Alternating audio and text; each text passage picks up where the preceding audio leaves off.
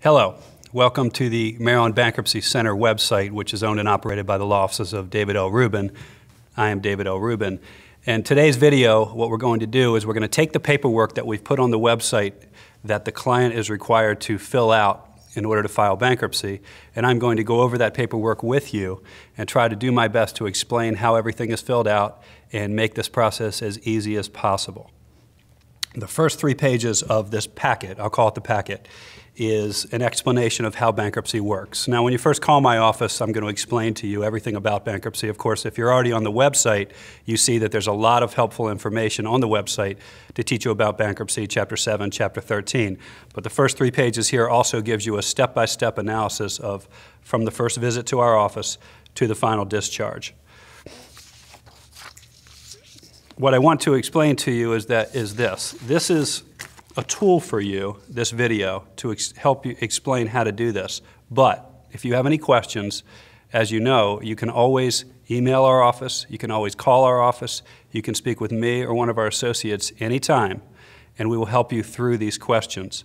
This, this video here is just to make this a little bit easier for you because sometimes people are intimidated by the process. It's about 30 pages. It looks like it could be very difficult and time consuming. We know you're going through a very difficult time as it is, having to deal with this bankruptcy situation. So I'm going to break it down and show you that it really is an easy process, and we're going to help you with it, and we're, we're there to help you with it the whole way. The most important part is providing the documentation that we need in order to file bankruptcy. Now, we're only asking you for this documentation not because we want to, but because the court requires it in order to get the benefit of eliminating your debts or stopping a foreclosure or whatever it is you're doing in Chapter 7 or Chapter 13, you have to provide documentation to back up the information. This is a list that we've got here on the fourth page to explain to you what you need. And the first three items are the most important, and everything else is required as well. Most importantly, you've got to provide us income tax returns. The last two years that you have filed, full state and federal income tax returns. If you have not filed your income taxes yet, or if you have not filed at all, that's okay. We just have to talk about that and figure out why.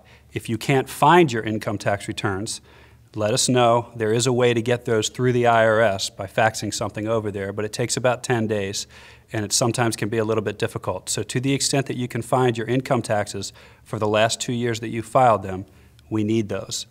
The bankruptcy court requires it. They won't accept your case without them. Secondly, and just as important, your pay stubs. You have to, whether you're doing a Chapter 7 or a Chapter 13, you have to prove what your income is over the past six months. We will have already talked about that when we've determined whether or not you're eligible to file Chapter 7 or Chapter 13. But in order to back that up, we're required, when we file the papers with the court, to provide proof of income to the trustees. What the court requires and what we require, therefore, is six months of pay stubs. What does that mean? Well, if you have your, if you've kept them at home, great. You copy them, you bring them in with you, or bring them in and we'll copy them for you. If you don't have them, you call your employer and say, "Hey, I need my pay stubs." They'll give them to you. I haven't had a situation where an employer, a current employer, hasn't just been able to go on the internet, print them out, and give them to you. If you are married, even if you're filing bankruptcy individually, you have to have your spouse's pay information as well. Biggest question asked all the time from spouses. Well, if I provide my pay information, does that mean I'm affected by the bankruptcy? Is it going to ruin my credit? Why am I being brought into this? I'm not the one with debt. And the answer is because the law says, hey, if you're married, we have to look at household family income to determine whether or not you're eligible to file bankruptcy. So we have to prove what it is that your household makes. There's no ifs, ands, and buts about it. If you're separated, not living together with your spouse, you don't have to provide your spouse's information. If you are living together, you have to do that. If your spouse is unemployed, fine, there's nothing to provide. If your spouse has disability payments, show us proof of income or that disability or something like that. Proof of income is imperative to going forward with the bankruptcy. We can't file it for you without it. Some people say, hey, what if I am paid under the table? I don't have proof of income. That's fine. If you don't have proof of income, you don't have it. But when you fill out the rest of this paperwork for us, you have to tell us how much you, money you make and how much, you know, what your income is and, and where you earn your income. It's just what you have to do. So if you don't have the actual proof, that's fine. You have to just list it. You have to do everything you can to get this information. Sometimes people come in and they say, hey, I used to work at this company three months ago, and they're not talking to me anymore. I can't get that information. Fine, just let us know, and we'll take care of it for you. There's always a solution. There's, none of this is going to prevent you from filing bankruptcy unless we tell you. So if you have a question, if you run into a roadblock, don't worry about it. Just call me or email me, and I'll answer the question. I've been doing this for 23 years. I've answered all the questions already. Rarely is there a unique situation. So just feel free to answer questions. That's what we're there for.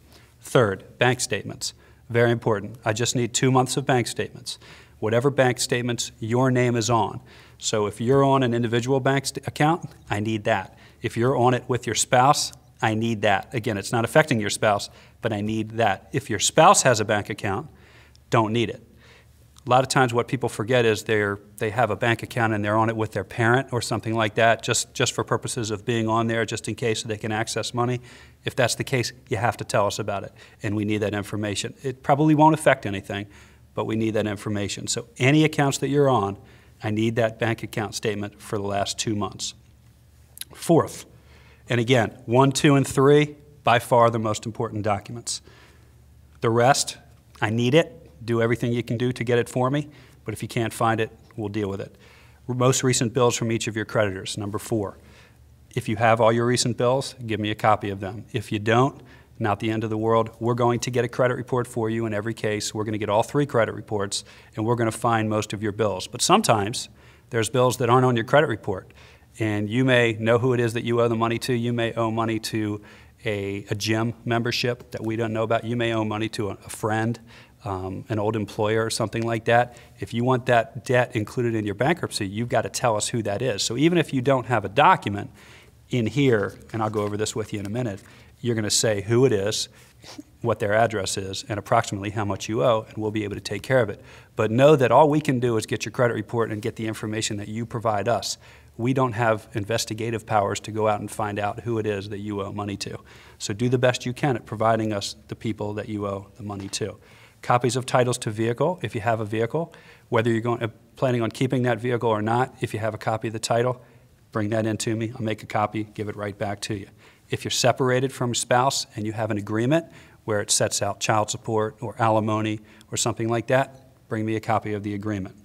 Most recent 401k, pension plan, retirement plan, as I'll explain to you when you come in, that's called exempt property, which means you can keep it but we still need to see a copy of that statement. So if you don't, if you don't have one, see if you can ask your employer to get one. Usually they send them out once every four months or three months, something like that. Find a statement. If you can't find it, not the end of the world. We'll do the best we can with it, but do your best.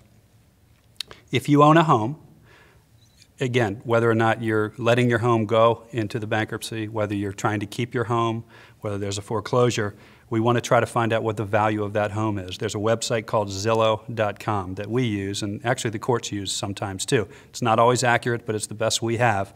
You go online, Z-I-L-L-O-W.com, you print out how much the house is worth, and you bring that to us. If you can't do that, we'll do that for you. Not a big deal.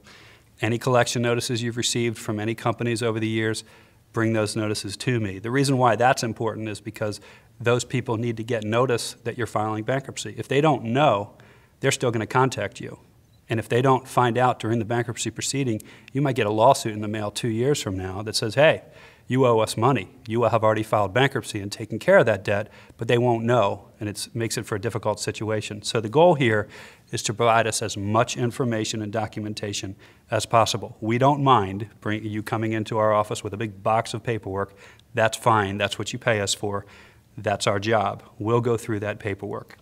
And, then, and finally, the same thing any lawsuits, any court papers that you've received, you've got to bring those to me. And if you lost them, at least let me know that you did get court papers, and we'll look on the computer and do the best to find it. On to the next page. It's called Credit Counseling and Debtor Education, and we will have explained this to you when you come in over the phone. It's on the website. In 2005, when the bankruptcy laws were changed, what Congress did was they required, they made this requirement to say everybody that files bankruptcy has to do what's called pre-filing credit counseling and post-filing debtor education. It's an online tutorial. Some people get nervous. They say, I don't want to have to go to classes. When are they? Are they in the evening? Uh, is it expensive? What if I fail? What if I pay? It's not like that. It's very, very simple. It's a tutorial. If you're good with the computer, you go online. It's cheaper that way. We suggest some alternatives of websites that take care of this for you, but we're not in any way affiliated with anybody. You can Google pre-filing credit counseling Maryland. A bunch of them will come up. Find the cheapest one or whatever looks easiest for you. You go on there, you give them some information, you answer a whole bunch of questions, and at the end, and I'm told it takes about 45 minutes to an hour, they give you a certificate saying that you completed it. The cheapest one we could find is about 10 bucks. Um, prices are going up here and there, so I don't know if at the time you're watching this video it's still $10, but um, the price is about $10 to do this, and then you do that before you file bankruptcy. You have to get it done. Not the first time you come in, you don't have to get it done when you see us, but before we can actually file with the bankruptcy court, that has to be done. It's very easy. Once it's done, they actually send me an email letting me know that you've done it, and then we print out the certificate and then we file it with the court with you. So your only job is to go on, pay the 10 bucks, and answer a bunch of questions. It's really, really easy. The rest of the client questionnaire is really the easy part. It's just filling in the blanks. It's like you're going uh, to, to buy a house or to buy a car or filling out papers at a doctor's office or something like that. It's simply filling in the blanks. I'm going to go over it with you quickly, give you some, some idea of why you're doing it. But I'm going to go over the overall picture of why you're doing this in the first place. Some people say, well, I don't want to have to do any work. I don't want to have to fill out any paperwork. Why can't you do this for me? The way it works in bankruptcy and the way things changed a little bit in 2005 is the judges said, we want the, the debtor, the person who's filing bankruptcy, they need to give their information. They actually need to write it down so that the lawyer then takes the information, puts it into a petition which the debtor signs, but that information is coming from the debtor, the person who's filing bankruptcy, not the lawyer. They don't want us doing putting things in your mouth, making up information for you, helping you sue or say things you're not supposed to say. It needs to come from you. So this packet here is designed to make it as easy as possible to answer all the questions that are required by law to answer, and then we take that information, we submit it. Bottom line is this the only thing you have to worry about doing is being truthful. There are a lot of pages, there's a lot of information. All the bankruptcy court wants to see, and the bankruptcy trustee, and I'll, I'll teach you about that if you have questions, all they want to make sure is that you're being truthful and as accurate as possible. So don't worry about writing the wrong thing. Don't worry about leaving something blank. If you have a question, we'll answer that question. We'll help you out. But the bottom line is this if you're not truthful, if you're lying, if you're admitting information, your bankruptcy is not going to work. And I don't think that's happened in our firm for years and years because we make sure that when people come in, they understand this process is this. Look, the federal government passed laws to help people get rid of their debt. All they ask is to be truthful and to qualify. And I'll let you know whether you qualify, and in all likelihood you do. Um, all you got to be is truthful and provide the documentation, and everything will go smoothly. So when you fill this out, do the best you can, be accurate. First page, client questionnaire. Name, address. Make sure that if you've had names in the past, maiden names, whatever names, you fill those out. Social security number. It's important that you provide your social security number and you provide it accurately. When we actually file the papers with the court, we don't file that electronically so that there's no chance of, of people picking up your social security number that's being filed online. But you've got to give it to me in the paperwork that you give to me, and we'll take care of it for you. Date of birth. The next questions are how long have you lived in the state of Maryland? That's important for bankruptcy laws. You have to live in the state of Maryland or have property here when you file but depending on how long you've been here depends on certain laws that we use in determining what property you can or can't keep. Don't worry, you're going to be able to keep all your property, otherwise we're not going to file it. But we need to know how long you've been here. That's why there's questions. Have you been here for the last six months? Have you been here for the last two years? You need to be accurate. You need to give us that information. It's important, but it's not going to prevent you from being able to file bankruptcy. It asks you the information for your spouse. If it's a joint filing, obviously we need both information, uh, both names and everything. If it's not a joint filing, we don't need your spouse's name. Remember, we do need your spouse's income information, but that's it. Don't need your spouse's social security number. It asks you if you've ever filed bankruptcy before. This is important. Obviously, for a Chapter 7, you're only allowed to file once every eight years. For a Chapter 13, it depends on the circumstances we ask here, have you filed bankruptcy in the last eight years? If you have, you have to let us know. If you're not sure whether it was eight years ago or seven years ago or nine years ago, that's fine. Ask us. We have access to the system where we can put in your name and we can find out exactly when it was filed. And we may, you know, depending on when it was. But you've got to tell us that information because if you don't, we're not going to know. We're going to file the papers for you and the, the, the computer system's going to come back and say, hey, this person already filed, and that's not a good situation. You don't want that to happen. So if you have filed bankruptcy before, let us know and do the best you can and tell us when it was. You have to tell us your marital status. You have to tell us whether you're filing individually or jointly. You have to tell us who lives in your household. That's very important when it comes to Chapter 7 and whether or not you pass what we call the means test. And again, I will probably have already spoken to you about that. But based on how much money you earn and how many people live in your household is determines whether or not you can file a Chapter 7 or if you have to file a Chapter 13. We always prefer doing Chapter 7s because it's cheaper, it's easier, it's quicker, gets rid of all your debt. But if you make too much money, you have to do a Chapter 13, which is more of a payment plan kind of thing. But it depends on how many people live in your household. If you have minor children, that's obvious, write them there down. But even if you have people who live in your household that may be over the age of 18, but you're supporting, perhaps a grandchild, perhaps a, a younger brother or sister, perhaps a parent that you're supporting, whether or not you're claiming that person on taxes or not, you write that person's name. We need to know that because it could be very important to your case. We ask you for the income for the past six months.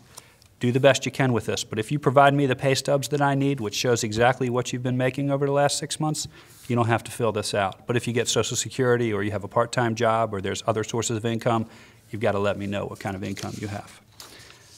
The next page is real estate. If you don't own any real property, just write none. Try not to leave anything blank because then I won't know that you looked at it. But if you, so if you do, so write none or not applicable, whatever, whatever's easier.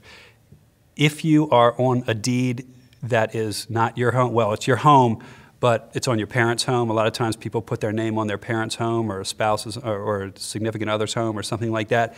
You've got to tell us that information. Even though you may not be the true owner because it's not yours and you're not living there. In other words, it might be a home in Florida where your parents are living, but your name's on the title. You have to give us that information, and that might affect your situation. Otherwise, if it's your house, you've just got to give me the information. Tell me who's on the deed, you, you and your spouse, you and whoever else Tell me the address of the real estate. Tell me who the mortgage company is. Give me the address of the mortgage company if you have it. Um, and tell me the information that it says on here. And again, it says, what is the value of the home? Remember, we're going to go to Zillow.com and figure out how much the value is.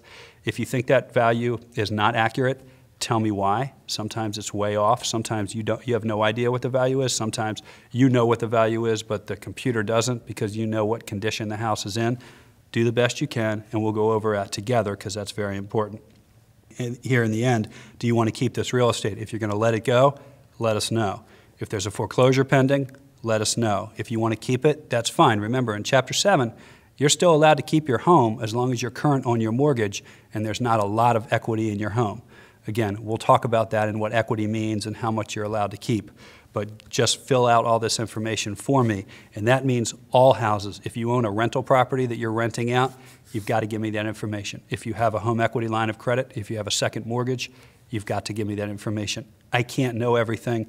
We don't do the investigation to determine everything that you have, not only in Maryland, but in any other state. You've got to provide me with that information. Next page asks about lawsuits. If somebody's suing you and you've received court papers, give me that information here. If you own a timeshare, tell me about that timeshare. Personal property. This, is, this causes people uh, stress, and I don't want it to cause stress. So I want to explain to you how to go about filling this out. You are allowed to keep property in Chapter 7 bankruptcy, and you're allowed to keep all of your property in Chapter 13. In Chapter 7, you're allowed to keep a certain amount, depending on the situation, depending on whether you're married or not. For your purposes, you just have to fill these things in. If it says savings account, you need to tell me the savings account. You need to tell me the bank account. If you have the account number, great. And you've got to tell me how much is in that account on the day you fill out this paperwork. We're going to get that updated when we file the papers with the court, but you need to give me this information. You can't just give me a number. You've got to tell me what bank it's in. Checking account, savings account. If you have more than one checking account, you've got to give me those. If your name is on a checking account or a savings account, of an elderly parent or something like that, just so that your name's on there, you have to provide me with that information. You can't forget about it because that could come back and bite you in the end. So that's very important to fill this out as best you can. Cash on hand, if you have cash on hand, if you have a couple hundred dollars in your wallet, fill it out. If you don't have anything on you, if you got 20 bucks, fill that out. Just be accurate. That's all we ask. Truthful and accurate. Do you have any interest in a life insurance policy? If you do, try to let me know whether it's a term policy or a whole life policy. If you have questions about that, just ask me. Not a problem.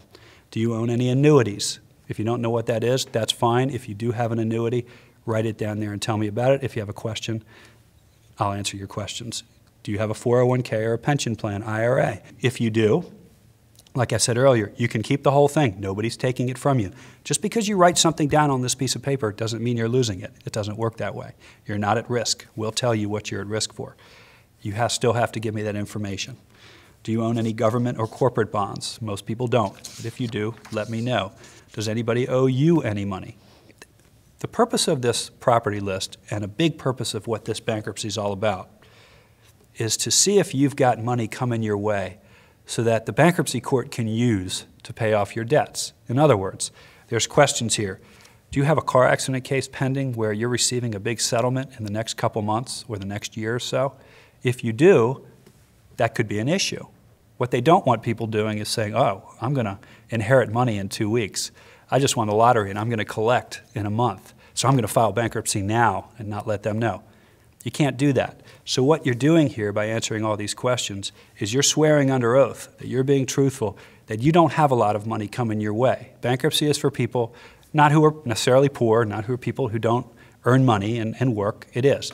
It's for people who are in a situation where they don't have the ability to liquidate their assets. They don't have the ability or funds coming their way to pay all their debts. They're in a tough spot and they need to get out of that spot, and that's what bankruptcy allows them to do. So that's what these questions are geared toward. You have to be honest and truthful. If you don't list that you have a big medical malpractice claim where you're going to receive a million dollars in six months, and it turns out that they find out about it, that's bad. We don't want that to happen. I can't remember the last time it has happened or if it's ever happened. But that's why these questions are important, and it's important for you to pay attention to these questions. So just read over them carefully, answer them, and if you have a question, call or email. I can't stress that enough. Finally, your household inventory. Some people look at this and say, What? How can I possibly put an inventory or tell you how much the things in my house are worth? I don't want you spending more than 10 minutes on this little grid. It's required, you have to do it. Don't leave it blank. A lot of people come and say, I don't have anything, so I'm not writing anything. Well, everybody has something. You have clothing, you have a cell phone, you have a TV set probably. If that's all you have, that's fine. You write it down, you tell me how much you think it's worth. How much is it worth? Well, it's not what you paid for it, it's what you could get for it at a yard sale. How do you know the answer? You don't know the answer, you guess. So don't stress about it. Don't look on the computer to find out what a used Sony 25 inch TV would sell for. If it's a TV that you bought for a couple hundred bucks and you've had it for a couple years, maybe somebody will buy it for you for 20 bucks. If you have a whole bunch of clothing and it's old stuff, I don't know, maybe you could sell it all at a yard sale for $150. You'll know. If you have jewelry that's worth a lot of money, well, then you have to list it and be honest about it. If you have property that you know you just purchased that's worth a lot of money, you have to list it. By filling this out and being accurate, you're telling the bankruptcy court, I don't have a lot of stuff, and that's why I need to file bankruptcy. They're not going to take anything from you that they don't think they can sell and make a lot of money. And again, I don't know the last time I can remember a case where the trustee's actually taken property. If you come in and you've got four or five cars worth $10,000 each, well, that's a problem. We're not going to file the bankruptcy because they're going to take them from you. Fill this out. Take more than, no more than 10 minutes do the best you can, answer the questions. If you have questions, let us know. Tell us about your cars. People always keep their cars when they file bankruptcy. If you owe money on your car, tell me who you owe, how many miles are on your car so that we can look it up on the computer and figure out how much your car is worth, how much approximately you owe on the car. Let us know whether you want to keep it or not keep it. For those cars that you may have that are paid off, give us that information. You do have to try to get the car titles for those vehicles as well. If you can't find them, you go to the MVA and get a duplicate copy because at some point you're going to have to get one anyway. You might as well use this opportunity to do it. If you have three cars, write down the three cars. If your name is on a car that you perhaps co-signed but also owned with your son who's off at college, even if you're not driving it, you still have to put that on there. You're not going to lose it. You just have to write that information. More is better, less is not as good. If you have a, a boat, tell us about the boat. If you have a trailer, tell us about the trailer. The next section is unsecured creditors. Now, that's generally the reason why people are filing bankruptcy. Chapter 7 is because they have a lot of credit cards, your classic unsecured creditor, medical bill, uh, repossessed vehicle, bill from a debt collector. Do the best you can and tell us who it is that you owe money to. Like I told you earlier, the only thing I can do is get your credit report and find out who you owe money to, but everybody you owe money to may not be on your credit report. A doctor may not report it to your credit reporting agency. In which case, if you don't list that doctor, I don't know that you went to that doctor. You need to do the best you can.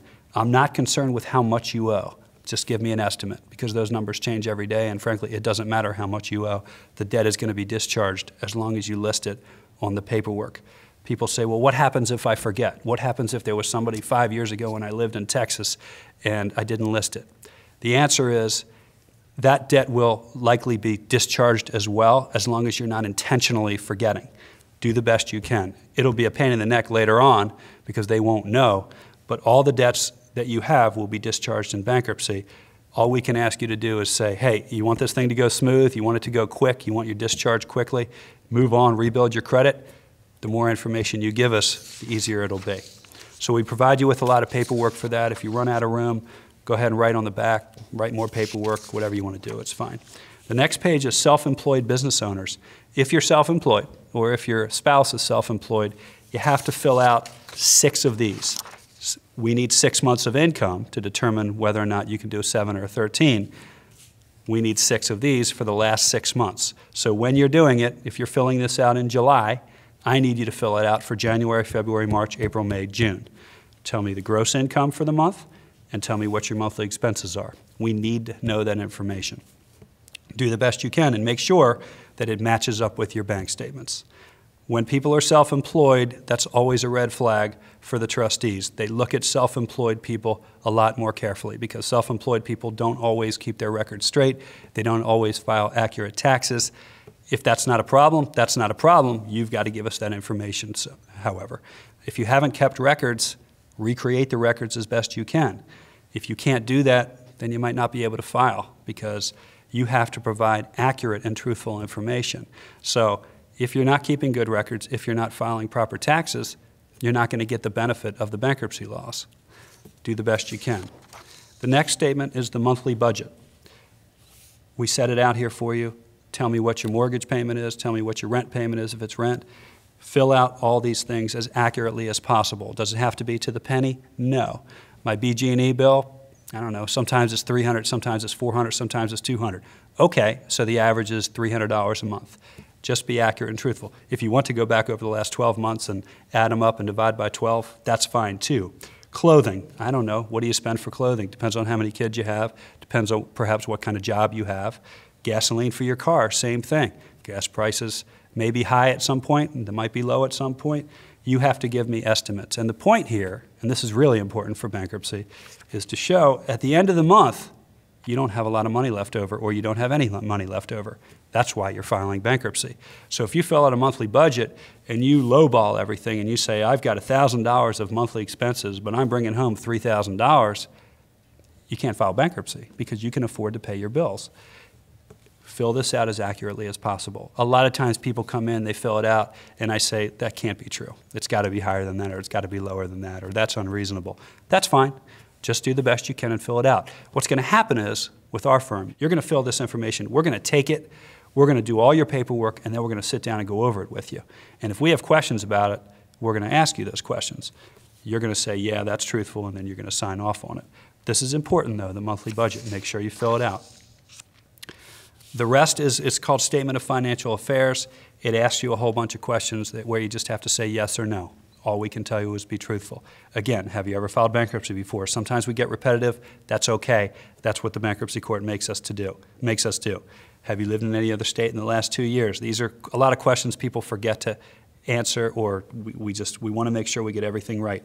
Read these questions, answer every one. If you don't understand it, email or call, ask when you come in. We're always here to answer any questions. That's all the paperwork that you have to fill out. The only other part of the packet that you're going to have is called the United States Bankruptcy Court Notice to Consumer Debtors under 342B of the Bankruptcy Code. What is that? Well, we're required to put this in here by the Bankruptcy Court and by the Bankruptcy Code. And I, you need to read it because it's basically telling you what I've already told you. You need to be truthful on your paperwork. And it's explaining to you that if you're not truthful and somebody finds out that you're lying or you're omitting something seriously on purpose, then you're in trouble. So when you're filing your bankruptcy papers and signing everything, when, we're, when we get to that stage, you're saying, yes, I, I, I am truthful and I've, I understand all the notices. We give you a notice on here, and what we say is notice regarding bank accounts. Um, this is important. If you have a bank account, for example, with Wells Fargo, and you have a credit card with Wells Fargo, we're going to tell you that the best thing to do is to move banks. Um, that's not doing anything fraudulent or illegal. You're simply taking your money out of one bank and putting it into another because if you owe the bank where you're banking money and we file bankruptcy, they could take that money from you and you don't want that to happen. So we put that in here in a notice and let you know. And then the last uh, piece of paper we have in here is what's called a bankruptcy services agreement, which is the agreement that you and I will eventually reach I'll put in here how much we're charging you. Uh, you'll review this, you'll sign it, I'll sign it, and we'll have an agreement. You're agreeing to pay me for my services. I'm agreeing to make sure that we do everything right and we discharge your debt. So thank you for taking the time to watch the video.